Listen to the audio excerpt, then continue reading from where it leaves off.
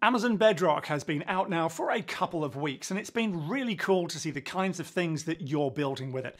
In this video, we're going to answer some of the frequently asked questions as you've been starting your journey with Amazon Bedrock. Now, if you're not familiar with the service, it is a collection of foundation models, so generative AI foundation models, so that you can easily combine through a single API text generation and image generation from a number of different providers into your application all through the AWS SDK. Let's jump into the AWS console and start having a look at some of the questions that you might have as you start to use this service. So in this account, this is a brand new account. We've never used Bedrock before. I've gone into my AWS account.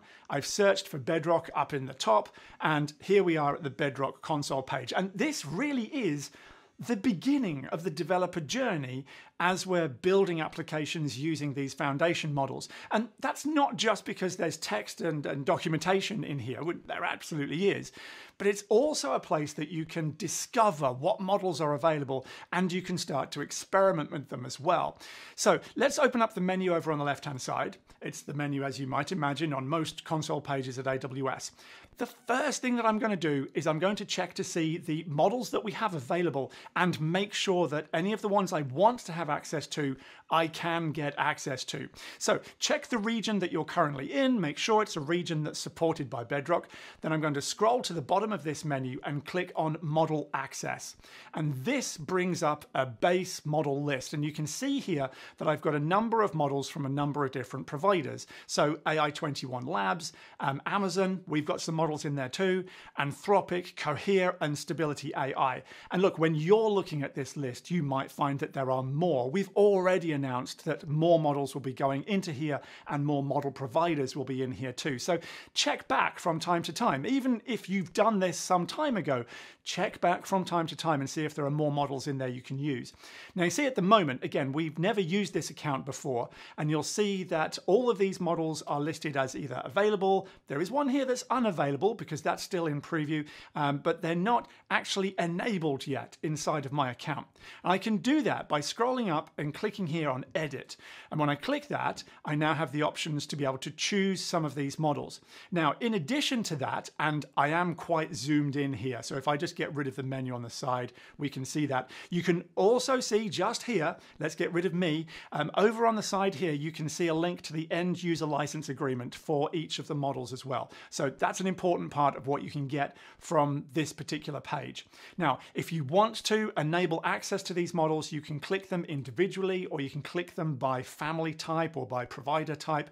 Or what I'm going to do is I'm just going to click on all of them. I'm going to select all the models that are currently available to me, um, have a tick next to them, scroll to the bottom and click Save Changes. And that will then request access to all of those models. And you can see here it says Model Access Request Submitted. So I just have to wait a very short amount of time for that access to be granted. And in fact, whilst I've been speaking. So no edits here, but whilst I've been speaking, um, access, access has been granted to all of those models. So now I've got access. So if you come into the console page and don't do this step, you'll notice that there's not really very many models available. You need to come here first and make sure that you uh, grant yourself access to those models. Now, if I come back out and have a look at the menu, um, there's lots of different options here. So you can go through a number of different places and see some, essentially some documentation. So you can come here to base models. Um, I can see a card, if you like, a model card for each of the models that we have. You can click in on that model. It'll give you information about it, some of the supported use cases for that model, and a link off to pricing details for that model as well. Going back to the menu, let's scroll down a little bit beyond sort of documentation and examples, which are well worth taking a look at. What we also have here are these playgrounds. And this really is where our developer journey starts. I start here all the time. I was doing this just yesterday, putting a project together that I can't wait to share with you. So please do subscribe to this channel and make sure that you don't miss that when I publish that, hopefully in the coming days. Also, write a comment below if you've got questions, specific questions about what you want to see in these videos and about Amazon Bedrock. Now, back to these playgrounds. I've got three playgrounds to choose from a chat playground, a text playground, and an image playground.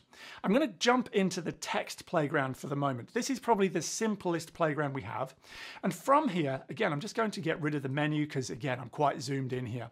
Um, you can select uh, the model category, in other words, the different base model family, and I've got all of those models that I've just enabled inside of my account.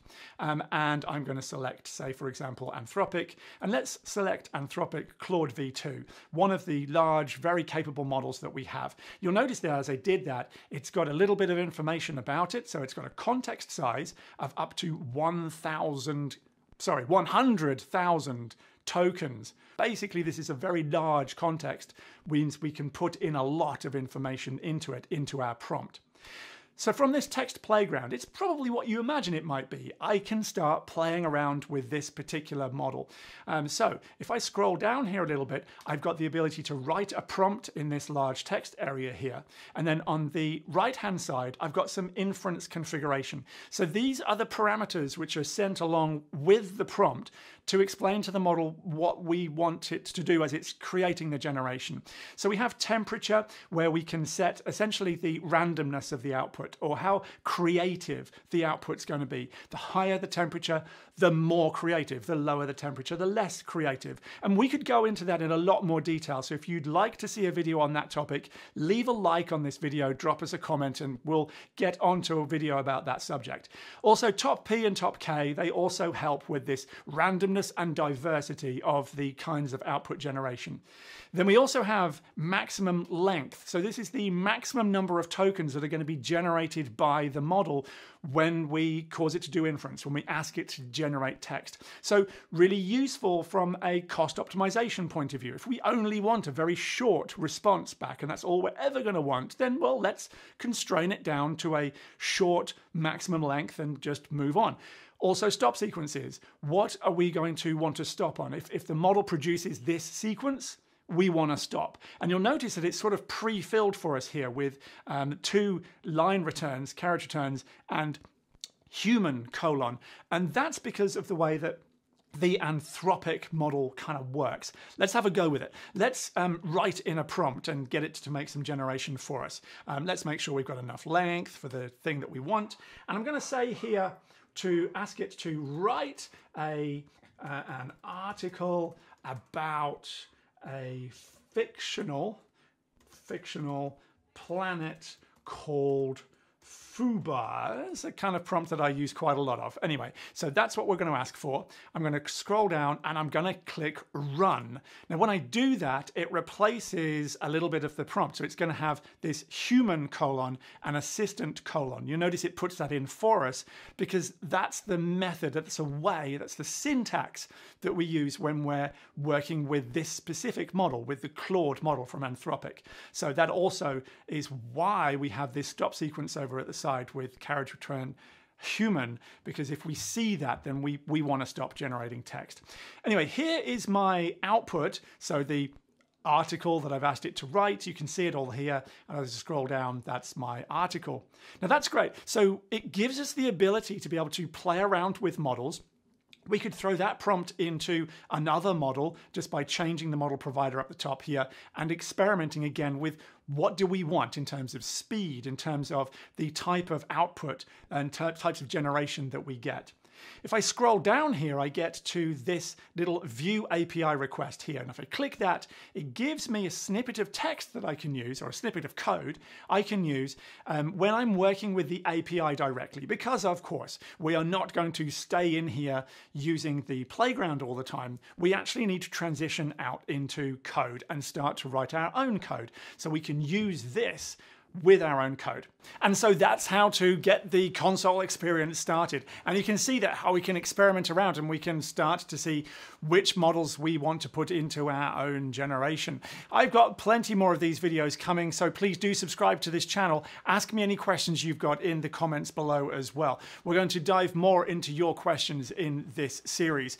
But before I leave you, I just want to bring up this as well. This is the community.aws. So community.aws is a community site all about Amazon Web Services. And in here, you'll see if I load up the menu here, I can go to generative AI. We have a space all about generative AI. And this isn't just about Bedrock and it's not just about Amazon SageMaker.